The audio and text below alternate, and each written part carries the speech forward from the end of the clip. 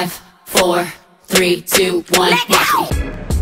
Hey guys! Hi! 안녕하세요. 저희는 캐릭터 전문가 그리고 트레이너로 활동 중인 배윤정 박준희라고 합니다. 반갑습니다. 네, 저희가 이번에 유럽 워크샵을 하게 됐는데요. 자그마치 저희가 6개국을 갑니다. 네, 먼저 일정 먼저 말씀드릴게요. 자, 10월 27, 28일 파리 그리고 10월 30, 31일 오 슬로, 그 다음에 11월 3일, 4일 런던 11월 6일, 7일 상트 페테르스부르크, 그 다음 11월 10, 11일 모스크바 그리고 11월 13일, 14일 쾰른을 마지막으로 저희, 저희가 유럽 워크샵을 마무리하게 됩니다.